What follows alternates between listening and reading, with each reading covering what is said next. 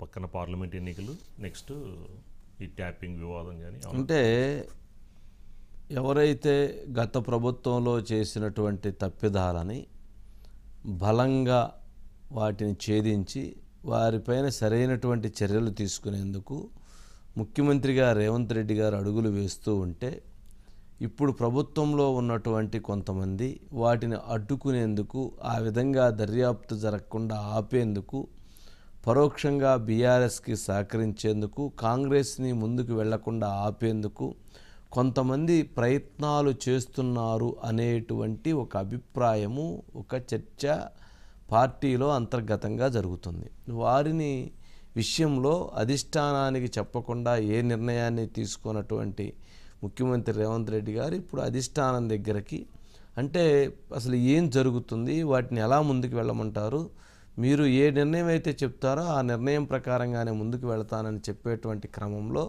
ఆయన ముందుకు వెళుతున్నారు అనేది వెళ్ళటానికి ఢిల్లీ వెళుతున్నారు అనేటువంటిది ఒక అందుతున్న సమాచారం. ఏదైనా కానీ తనైతే ఎవరైతే తప్పిదాలు చేశారో ఎవరైతే కాంగ్రెస్ పార్టీని నష్టాన్ని చేశారో వాళ్ళ విషయంలో మాత్రం ఎటువంటి పరిస్థితుల్లో ఉపేక్షించేటువంటి ప్రసక్తే లేదు అని ముఖ్యమంత్రిగా రేవంత్ రెడ్డి గారు అయితే క్లియర్గా తెగేసి చెప్పేశారంట. అలా చేస్తేనే కాంగ్రెస్ పార్టీ బతికిద్ది. తప్పు చేసినటువంటి వాళ్ళని ఉపేక్షిస్తే కాంగ్రెస్ పార్టీకి ముందుకు వెళ్ళే పరిస్థితి ఉండదు అని చెప్పని కూడా చెప్పారట. అయినా వినాలి కదా వినరు కదా. సరే దాని మీద ఢిల్లీ వెళ్తున్నారని టాకు. ఏంటి అజిత్ గారు? అజిత్ గారు. వంశీ గారు గుడ్ ఈవినింగ్ అండి. గుడ్ ఈవినింగ్ అండి. ఏంటండి? అంటే ఈ తెలంగాణ రాష్ట్రంలో అనేక issues కి సంబంధించి ముఖ్యంగా ఇటు ఎలక్షన్స్ ఎంపీ క్యాండిడేట్లే కాదు వంశీ గారు. ఫోన్ ట్యాపింగ్ దగ్గర నుంచి కాళేశ్వరానికి సంబంధించి కూడా ఎన్డీఎస్ఏ రిపోర్ట్ వచ్చింది.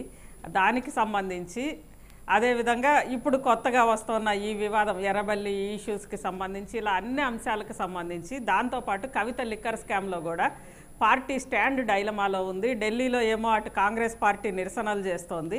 ఇక్కడికి వచ్చేసరికి కవిత అరెస్ట్ కరెక్టే అని అనేది రేవంత్ రెడ్డి అంటున్నారు.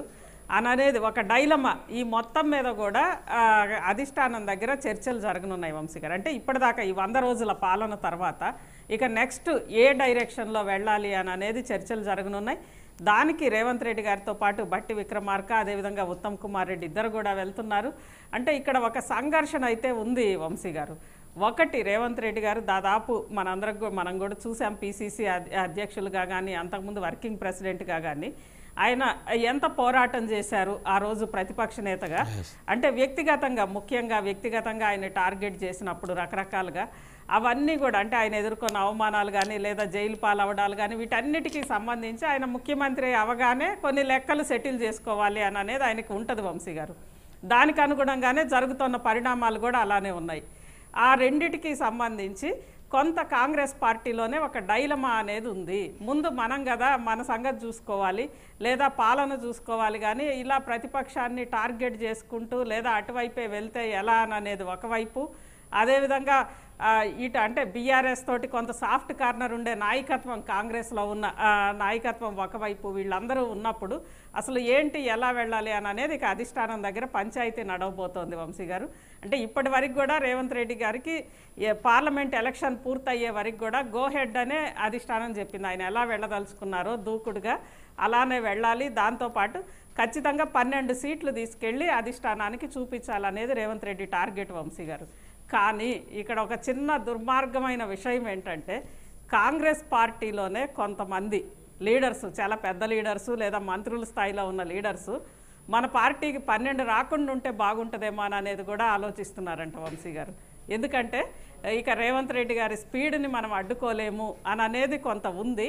కానీ దానికి సంబంధించి కూడా రేవంత్ రెడ్డి మొత్తం అంటే ఇవన్నీ కూడా ఆయన దృష్టిలో ఉన్నాయి. దానికి సంబంధించే వ్యూహాలన్నీ కూడా వాళ్ళు రెడీ చేసుకొని రేపు అధిష్టానం దగ్గర పంచాయతీ జరగబోతోంది వంశీ గారు. అదేవిధంగా ముఖ్యంగా పక్క పార్టీలోంచి వచ్చిన లీడర్స్కి వెంటనే సీట్లు ఇవ్వడం ఇప్పుడు చేవెళ్ళ రంజిత్ రెడ్డి అదేవిధంగా ఇప్పుడే కొద్దిసేపటి క్రితమే చేరారు.